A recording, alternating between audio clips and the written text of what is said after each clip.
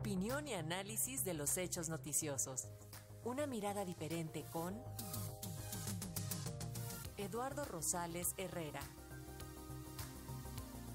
Y para analizar el impacto de estos ejercicios militares conjuntos y la situación en la central nuclear de Zaporilla, hacemos contacto vía plataforma digital con el doctor Eduardo Rosales, internacionalista y académico de la FESA Catlán, a quien saludamos con gusto. Lo escuchamos, doctor. Muy buenas tardes.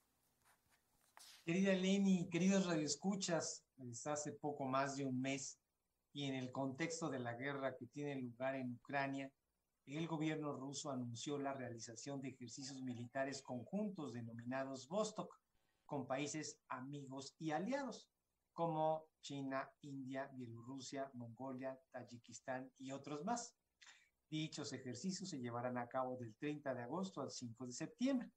Las maniobras conjuntas no son menores si tomamos en cuenta que se llevarán a cabo, como lo dijo la nota informativa, en 13 polígonos militares con tropas de tierra y aire de todos los países participantes.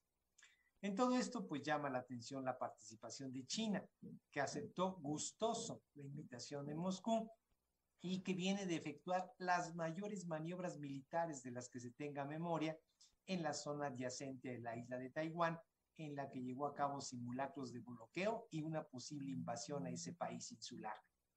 Recordemos que las relaciones entre China continental y la China insular se tensaron al máximo en los primeros días de agosto por la visita que hizo Nancy Pelosi, líder de la mayoría demócrata en la Cámara de Representantes de Estados Unidos a Taiwán el pasado 2 de agosto.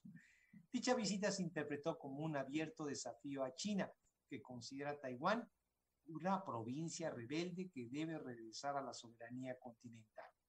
Por si lo anterior hubiera sido poco, el 14 de agosto aterrizó en Taipei una nueva delegación bipartidista de congresistas estadounidenses encabezada por el, senador demócrata Ed Merkey. El enojo de China volvió a subir de tono y seis buques y 22 aviones se aproximaron a la zona de identificación de defensa aérea de Taiwán. Como se podrá observar, los principales protagonistas de los ejercicios militares son Rusia y China, que cada día estrechan más su relación para hacer frente al enemigo común que es Estados Unidos, Unión Europea.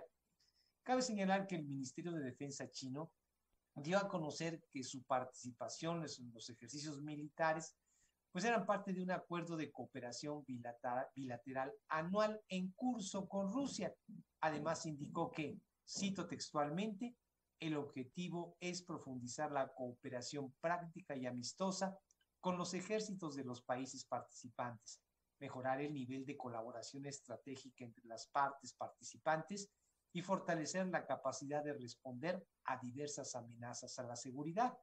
Además, señaló que la participación de China en las maniobras conjuntas es ajena a la actual situación internacional y regional, algo que nadie, absolutamente nadie creyó.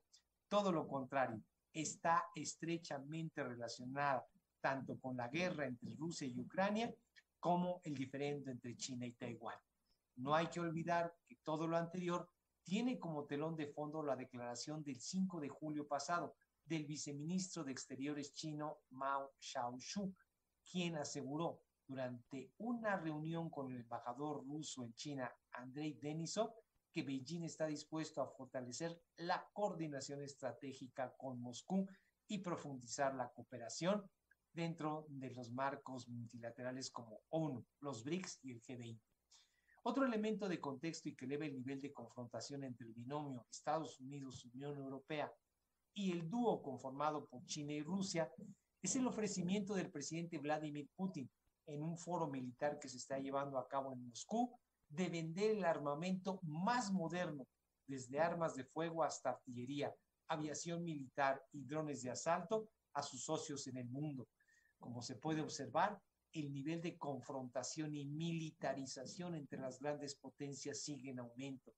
Por otra parte, no hay que olvidar que el riesgo de un desastre nuclear aumenta día con día en la central ucraniana de Zaporilla, debido a que el ejército de ocupación ruso está utilizando esas instalaciones como cuartel militar y como bodega de armas, amén de que desde allí ha lanzado misiles en contra de objetivos ucranianos.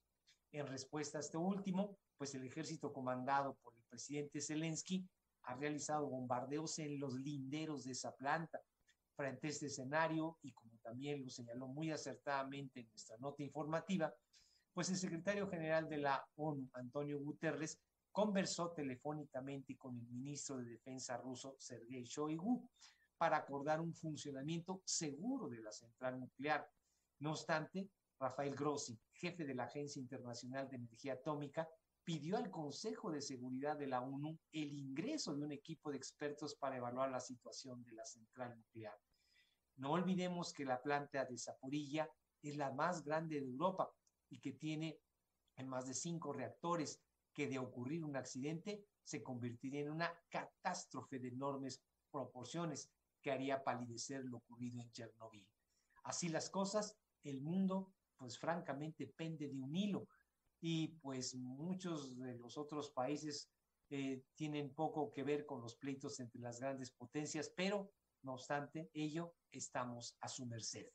Querida Leni, queridos amigos radioescuchas, yo soy Eduardo Rosales y como todos los miércoles, este fue mi comentario para Radio Educación, la primera, la única y por supuesto la mejor radio cultural e informativa de México. Y se lo agradecemos como siempre, doctor Rosales. Muy buenas tardes. Un abrazo, querida. Hasta luego, otro de vuelta.